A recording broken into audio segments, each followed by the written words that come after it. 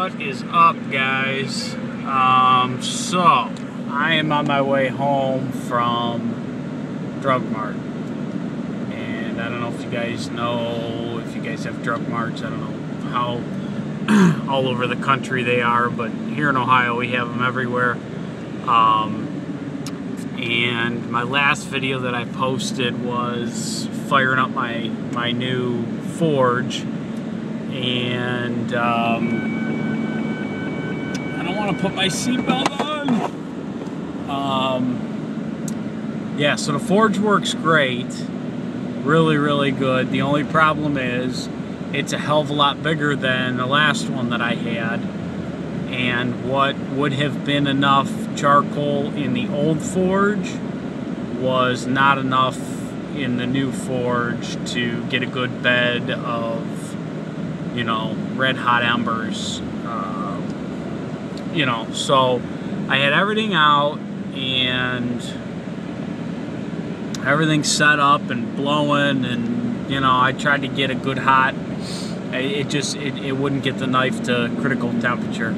Um, so I had to jump in a car and well after calling my neighbors to see if they had any but you know uh, February in Ohio.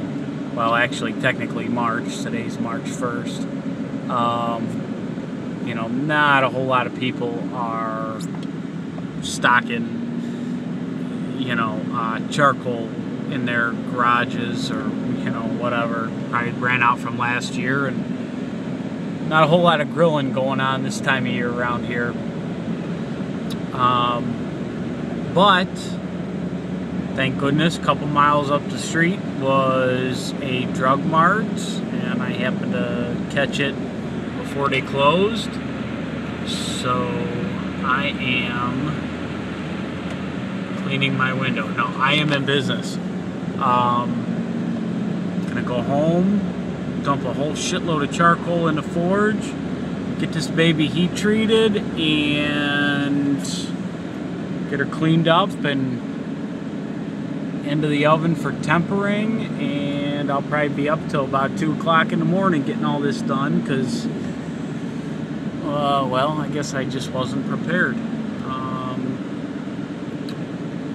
so yeah I'm gonna get home here. I'll be home in a couple of minutes and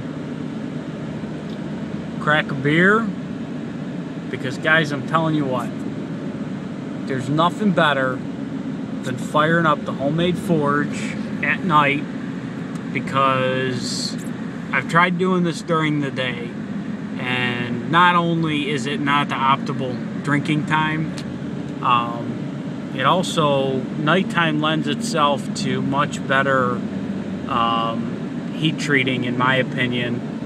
Um, just for the simple fact that you can really see when the steel is hot and ready you, you almost don't need the magnet to check for critical temperature. I, of course, still do.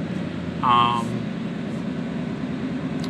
but uh, yeah, so there's nothing better, man. I got the I got the charcoal with the uh, lighter fluid already built in, so I don't know. I'm weird. I really like that smell.